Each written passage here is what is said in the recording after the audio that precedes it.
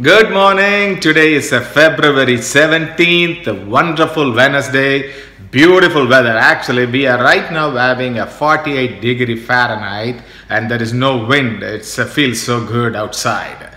A lot of things happened yesterday and I was watching and laughing this all the developments what's going on around us. Apple refuses to order unlock the shooter's phone. The problem is the federal prosecutors don't know the San Bernardino shooter's passcode. Therefore, they went to the court, they want the Apple to hack the shooter's phone.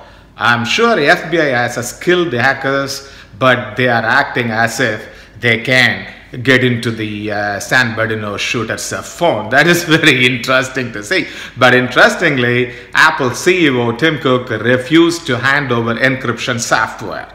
If we value privacy, then Apple should never ever hand over the software to FBI. That's my take. Another interesting thing was happened yesterday. Kanye West wants a $1 billion to change the world. He says he's personally rich, but still he wants a $1 billion.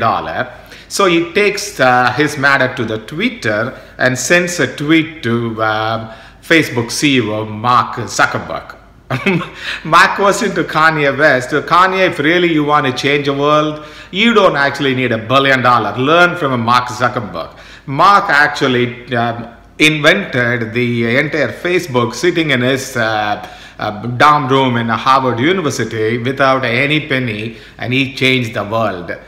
Uh, you know what? If you really need money and if you really want you actually you should have asked your agents and uh, find uh, mark zuckerberg's telephone and you can call and talk. I guess that your entire family are looking for some kind of attention so you just went and tweeted. Kanye if you really need some help with ideas to change the world i am your man you can also tell your mate Mark Zuckerberg.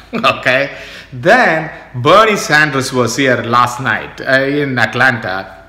He was in a black college and uh, he was talking to the uh, black audience and saying he's the man going to do it for the black people. But my uh, city mayor and my senator, both of them uh, disowned them. And i don't think so. He's going to get any delegates uh, vote from uh, georgia. So mr sanders you are not a special man. You are not just going to change uh, black people's problem. Look even obama eight years in uh, office he couldn't do it. So just feel it okay? So what i want to tell is the art of knowing is knowing what to ignore.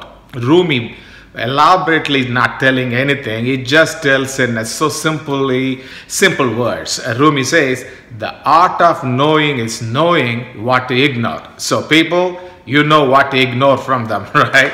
So with that i'll say everybody have a great day and i'll see you all later. Bye bye